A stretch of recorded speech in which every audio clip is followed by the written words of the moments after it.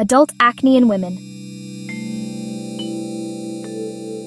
Acne is a common skin condition that can persist into adulthood, with hormonal fluctuations contributing to its persistence. Many women experience acne in their 20s, 30s, and beyond. Understanding the causes and available treatments can help women manage acne effectively. Adult acne is a chronic inflammatory disease of the pilosebaceous unit, the combined structure of a hair follicle and sebaceous gland.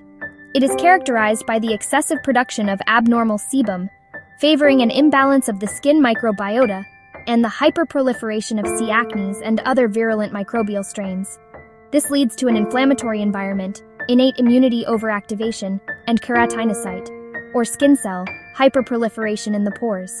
Degraded keratinocytes plug the pores, forming microcomedones, microscopic acne lesions, which evolve to papules, nodules, pustules, and scars. The prevalence in adult women is 15 to 20 percent.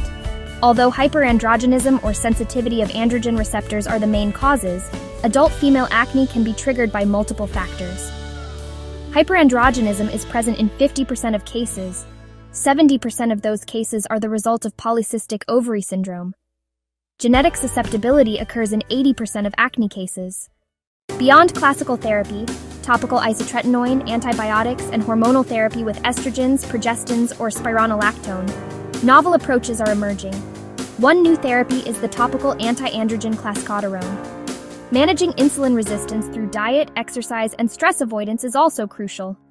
Vaccines targeting C. acnes, hyaluronidase A, are currently in development,